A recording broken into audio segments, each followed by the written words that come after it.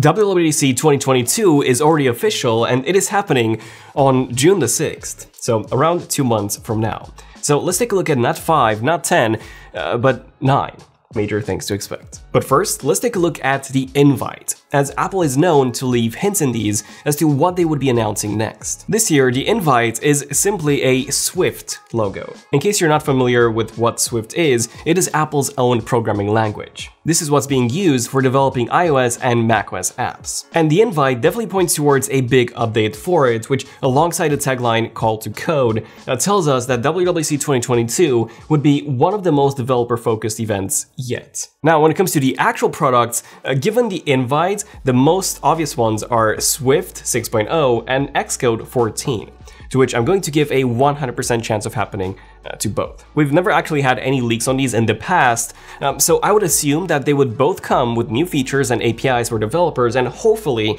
some more supported platforms too. It would be so great to get Xcode on, you know, Windows, as that would allow developers to build iOS apps without access to an actual Mac or expensive virtualization tools. On top of this, Swift Playgrounds 4.0 lets you literally build full iOS apps on the iPad, so I wouldn't be surprised if we get a full version of Xcode on the iPad this year. The next thing that I expect to see are of course updates to iOS, iPadOS, macOS, watchOS, and uh, the most exciting one, tvOS, to which I'm also going to give a 100% chance of happening. One of the biggest changes set to come with iOS 16 um, is said to be bigger widgets. Ones that allow us to even have a control center widget on the screen, as well as a timer and HomeKit controls. All of this sounds great as you could have uh, two pages full of widgets and then of course you would have your apps in the app drawer. However, I do wish that Apple gave us the option to rename uh, the automatic app drawer folders or even reposition the apps inside of them. Oh, sorry, uh, app library. app drawer is on Android. But yes, I would love to have the ability to just use the widgets and then have a separate place that is organized by me for all of my apps. Another big new iOS 16 feature is said to be uh, added support for the upcoming emergency satellite features uh, with the iPhone 14.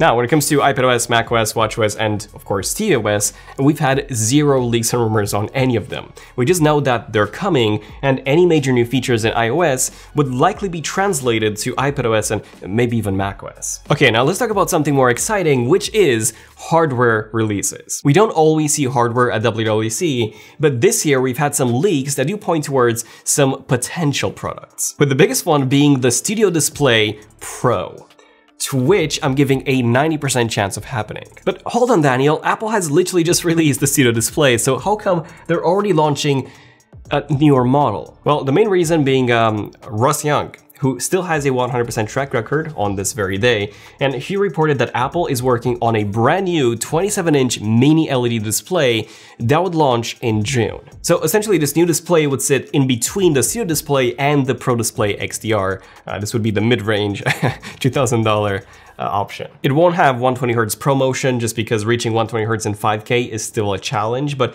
I do believe that it would be using the exact same chassis as the Studio Display. I did think that the Studio Display was far too thick, thicker than the M1 iMac, despite only being a monitor rather than a full display. Now, that thickness would make more sense for a mini LED display, um, which does require more space as well as active cooling, which we all know that a Studio Display does actually have. It has uh, two fans. And with that same body as the Studio Display, uh, the only main difference would be the mini LED backlight, to which Ross Young predicts that it would have two times as many dimming zones compared to the Pro Display XDR and seven times more total backlight LEDs. I do believe that this display would cost anywhere between $2,500 and $3,000, so yeah, it won't be cheap by any means means. Of course, another option is for the Studio Display Pro to actually be the new iMac Pro. However, since Apple has constantly promoted this new Mac Studio as the 27-inch iMac replacement, I just don't see them launching the iMac Pro anytime soon. By the way, I have been testing the Studio Display daily for about three weeks now, and the full review is coming out next week. It's gonna be super detailed with color accuracy, uh, brightness levels, and everything regarding my experience with using that monitor. So definitely subscribe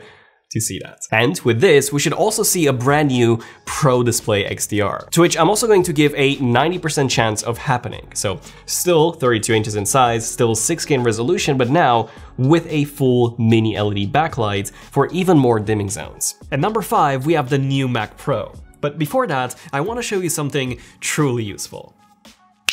This is CleanMyMac X, our sponsor for this video, and it's a tool that I've been using for the past nine years to keep my Mac running fast. So let me quickly show you how to use it. The first thing that you see is the Smart Scan feature, where CleanMyMac X will run a number of tasks to speed up your system with the press of a button. And if you want to dive deeper, you can. For example, in the cleanup panel, I can easily clear up junk files from apps, and I can get over 5 gigabytes back. In the protection panel, I can not only scan for malware, but also easily disable the privacy permission of each individual app. The speed panel allows me to disable login items, run maintenance scripts, re-index Spotlight, repair disk permissions, and so much more to speed up my system. The application panel lets me fully uninstall apps by removing every single trace of them, even those that are not from the App Store, as well as remove app extensions. And then the files panel gives us the space lens that shows me a bird's eye view of the biggest files on my system to quickly clear up space. Check out Clean Mac X by using the link below.